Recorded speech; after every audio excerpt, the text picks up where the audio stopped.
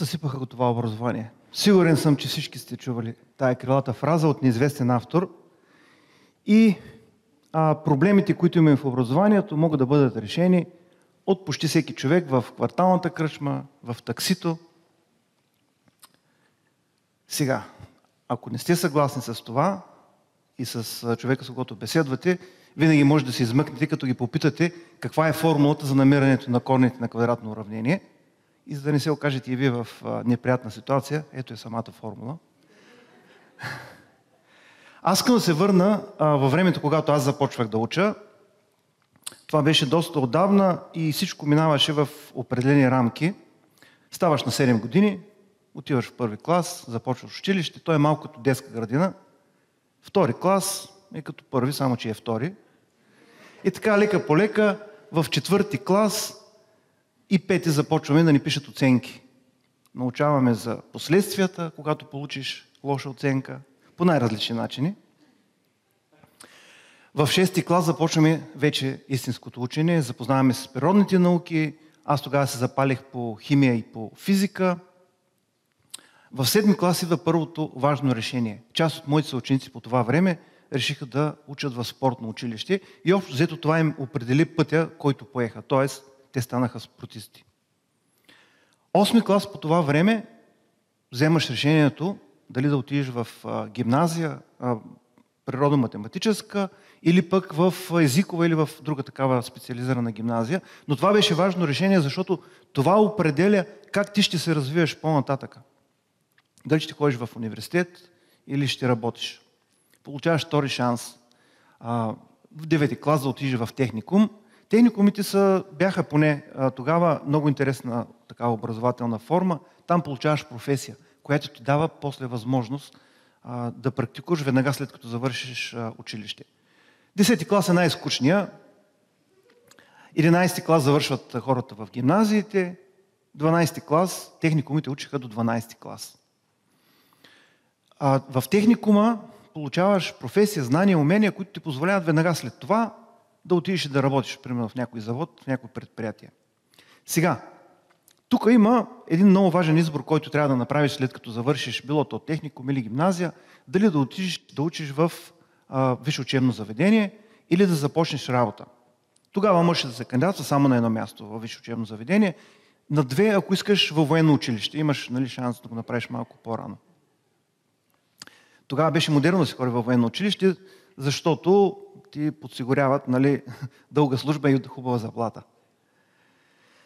Така, първа версия.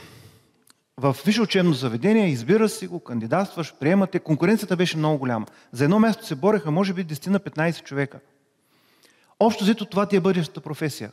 Учиш, а, да речем, счетоводство, ставаш счетоводител. Учиш химия, ставаш химик в лаборатория, с проветки смесваш различни реактиви и така нататък. Тук светът се разделя на две. Жените отиват да учат в университета, мъжете две години казарма, изолация от цивилизацията – и след две години се връщат обратно и те отиват в университета.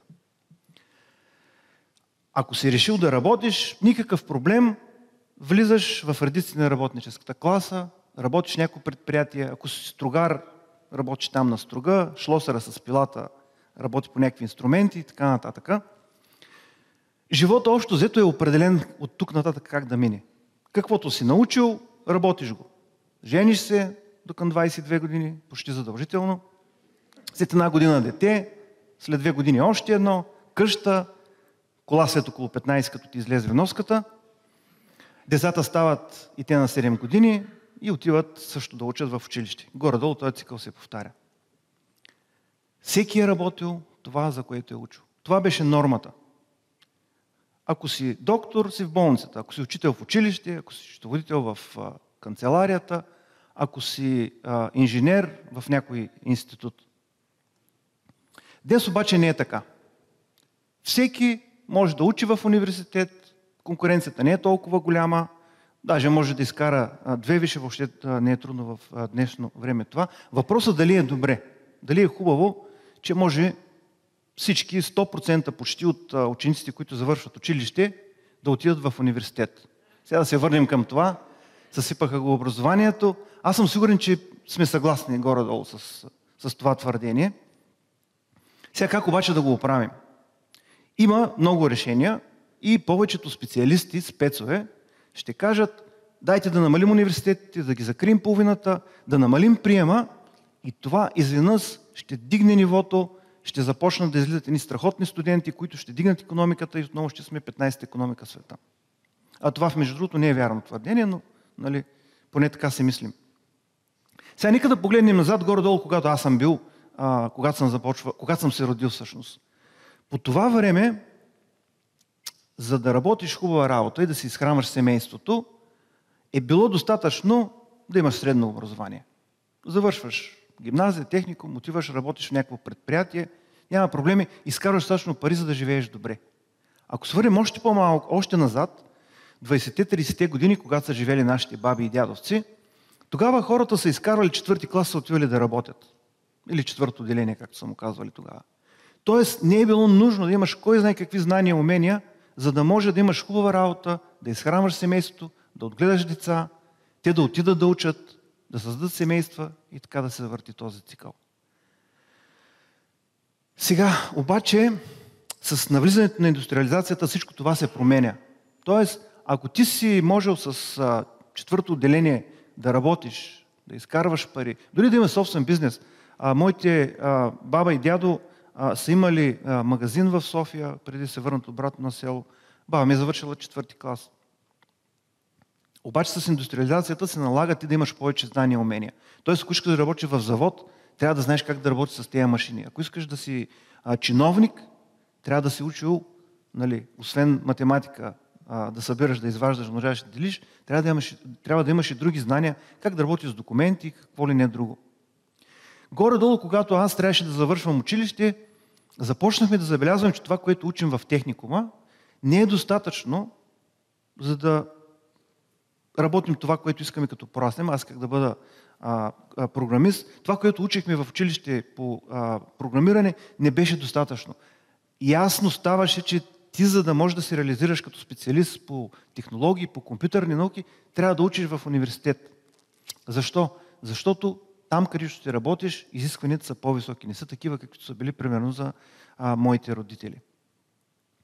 Днес, в 21 век, къде си учил, в какво училище, средно образование има все по-малко значение. Аз, като човек, който преподава в университета, виждам, че студентите, които идват в първи курс, са от най-различни училища, от най-различни населени места. Те са учили, да речем, селскостопански техникум, природо-математическа гимназия или най-обикновено училище. Това, което започват да учат в университета, е коренно различно, защото такива са им желанията. Това искат да учат. Трябва да се учи в университет. Всички от вас, които имат собствен бизнес или работят в частен бизнес, знаят, че за да могат да бъдат ефективни хората, които работят с вас, трябва да са завършили университет. Интересно е обаче защо. В университета получаваме знания, които не можем да получим в, в училище. Нови умения, попадаме в нова среда, срещаме се с други хора, израстваме като личности и най-важното в университета се държат с нас като с възрастни. Нали знаете как е в училище? Там има учител, учителки, директори. В университета първото нещо, което нали, забелязваш още в първи курс – че с тебе се държат като с възрастен човек. Имаш повече свобода да вземаш решения и съответно да търпиш последствията от решенията, които си взел. Сега, паднало ли е нивото в училище в днешно време? Нали, мнението на повечето хора е, че всъщност, нали, както казахме, съсипаха го това образование.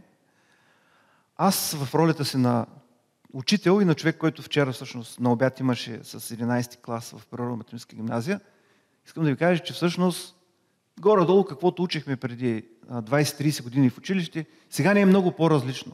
Дори има по някои предмети неща, които се учат в университет, са се учили в университета, сега ги смъкнаха в 11 12 клас.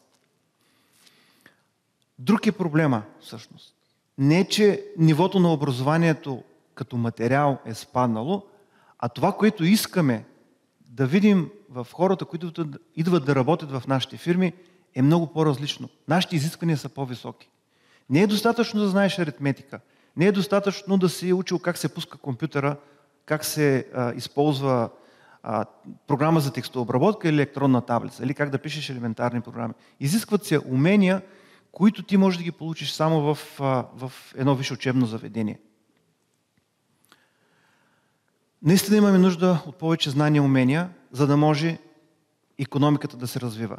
Всички знаят, че всъщност с просперитета на една економика и на държавата като цяло и на това да живеем по-добре, образованието е най-важно. Сега, трябва ли всеки да ходи да учи в университет или да тръгнем по другия път, да намалим университетите на половина или още повече, да ограничим хората да ходят там, за да дигнем нивото по този начин, или напротив.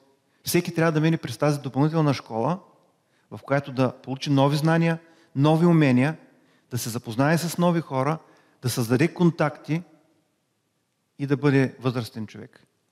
Аз смятам абсолютно 100% всеки трябва да има възможност да учи във висше учебно заведение.